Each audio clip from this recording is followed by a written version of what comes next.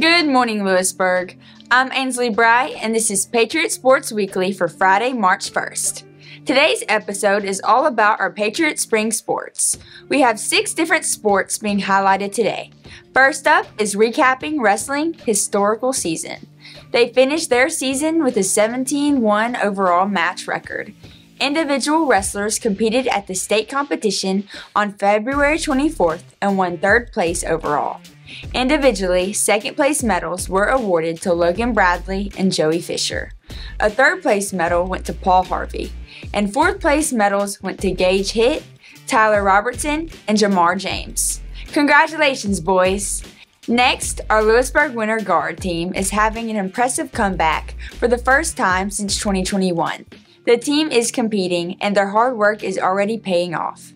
This past weekend, they traveled to a competition at Pearl and placed first. Although winter guard seems a lot like a fall color guard, it is judged on a gym floor rather than a field. The team members mastered complex drills and detailed choreography, then performed and scored by different categories, like equipment movement, design analysis, and general effect. They compete every weekend until their big championship competition on March 23rd at the Jackson Coliseum. You can watch them compete this weekend at Southaven on Saturday, March 2nd.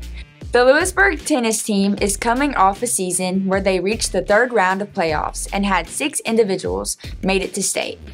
Led by head coach Martha Hall and assistant coach Christy Wiseman, they look to build on their success from last season. On February 20th, they traveled to Pontotoc and came home with a 4 3 win. On the 26th, they went up against Horn Lake out Southaven and won all seven courts. They have a match today against Southaven. We wish you the best. Did you know archers shoot each round in under two minutes? They shoot 40 arrows with only 30 counting from 10 and 15 meters away. They do all of this without any scopes or releases. The archery team competed on February 22nd, coming in first over DeSoto Central, Lake Cormorant, and Southaven.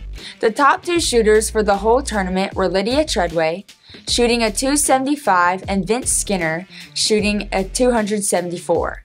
The max points any archer can get is 300. On February 27th, our archers finished third against two great competitors, Potts Camp and Center Hill. Archery has an important county meet this weekend. Good luck! Your Lewisburg Lady Pats softball team is coming off of a 26 win season with a 6A North Half State Championship appearance.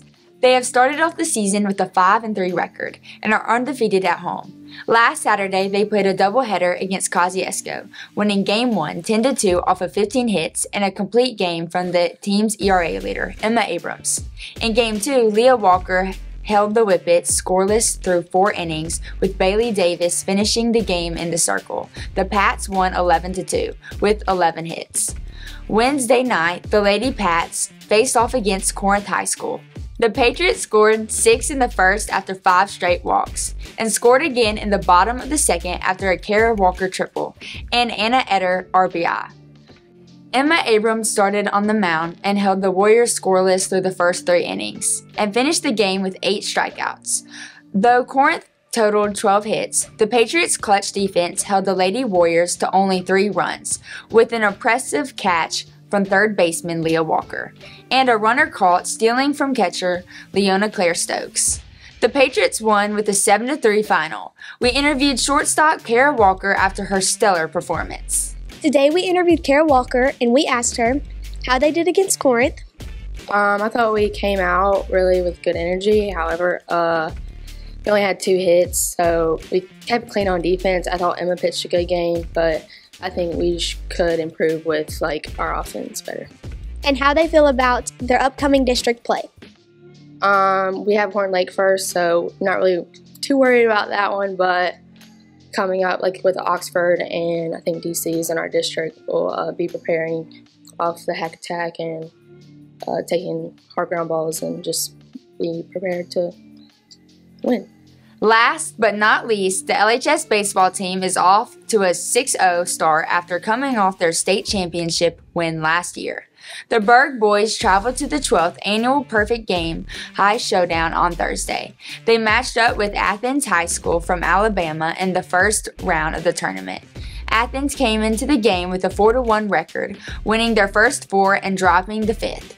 Senior Stone McKay and Ole Miss baseball commit led the offense going 2 for 2. The Patriots got the win 7 4.